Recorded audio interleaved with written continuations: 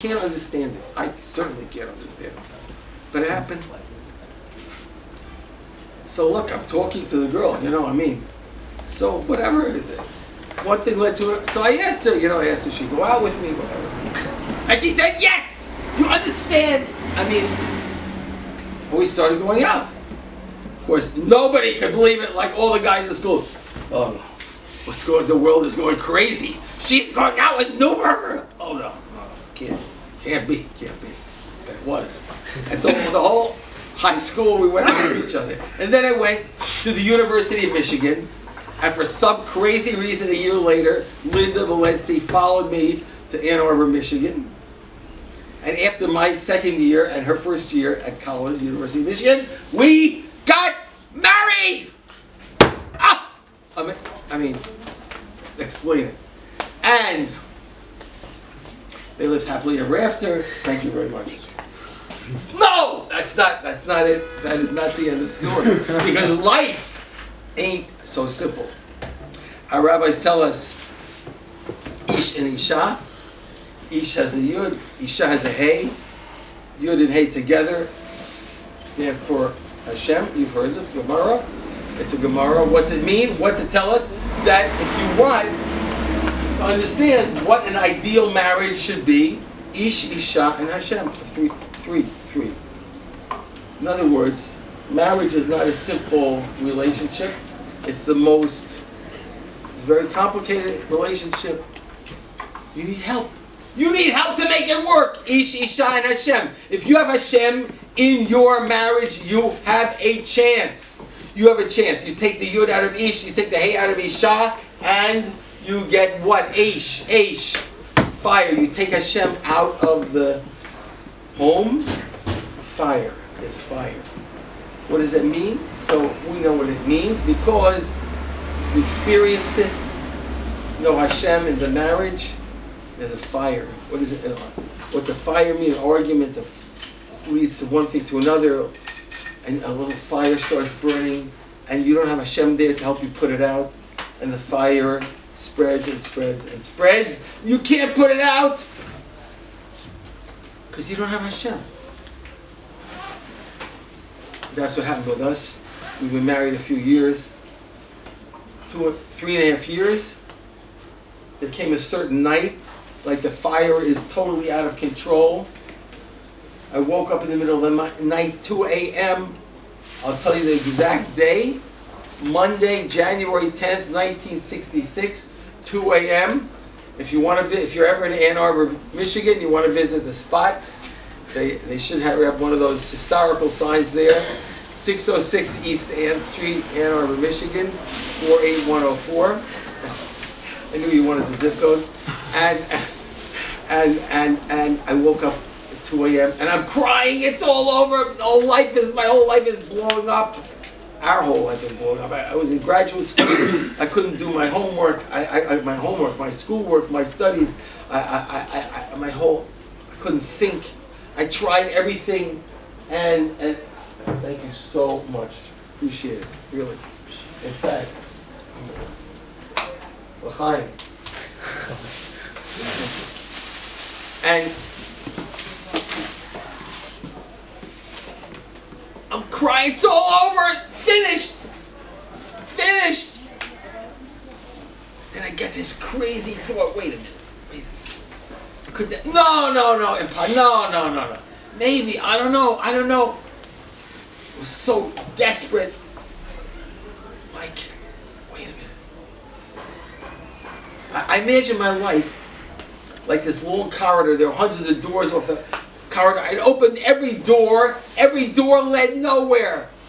Everything I ever tried, th- nothing works.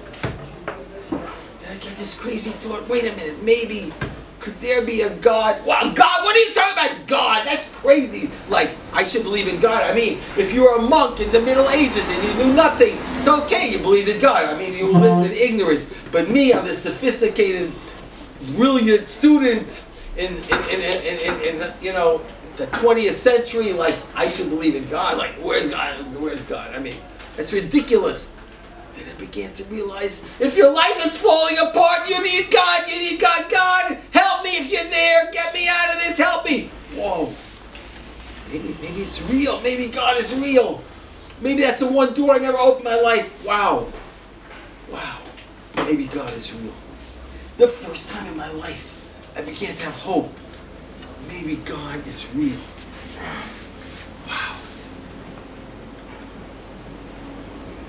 See it. Maybe there's hope. Maybe there's a way out of this. Okay. I can believe in God. But, but I'm, uh, okay, I believe in God, but I'm not Jewish. I mean, no way. I am not Jewish.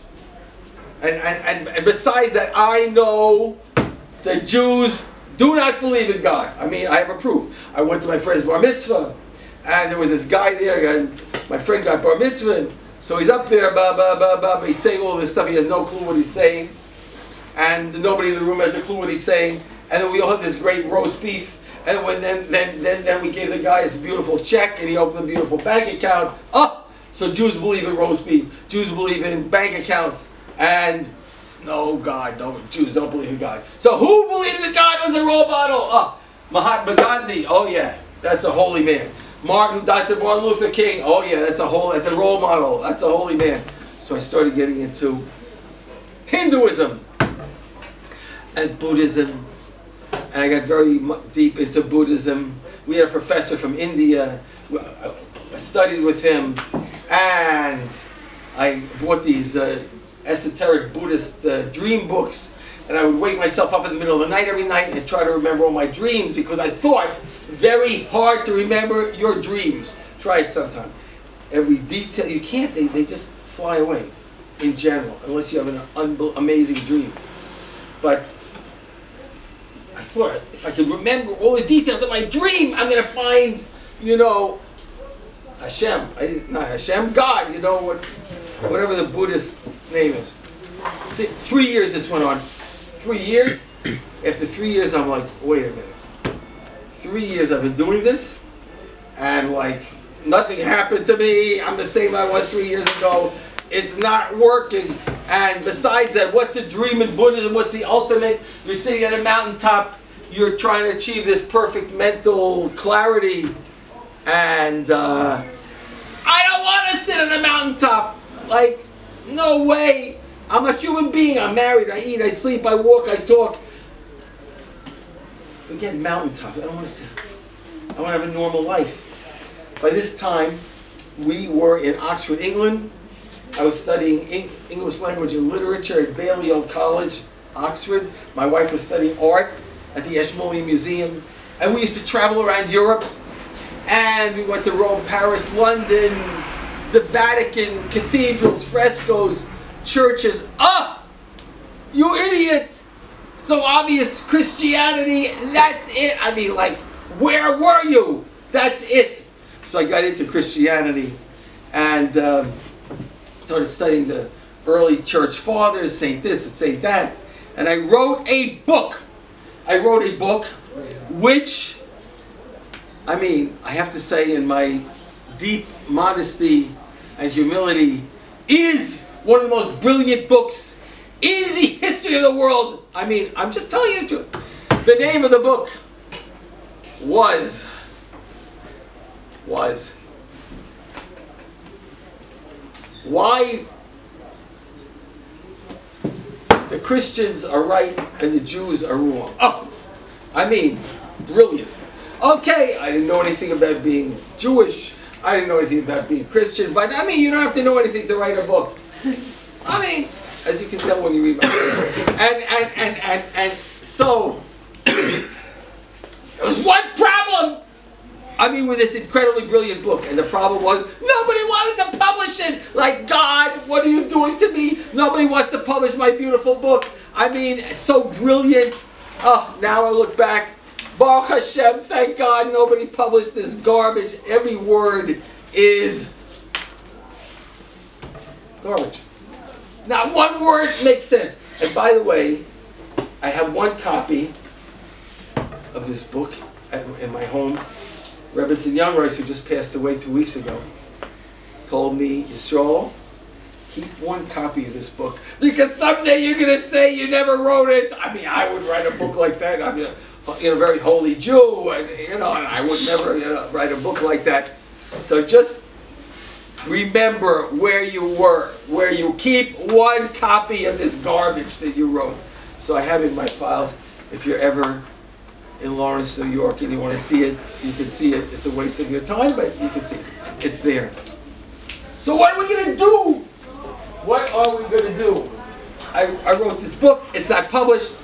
We got to do something with our life. We left England. We came back to America. We settled in a small town about 60 miles north of New York City on the Hudson River, Cornwall on Hudson, and what am I going to do?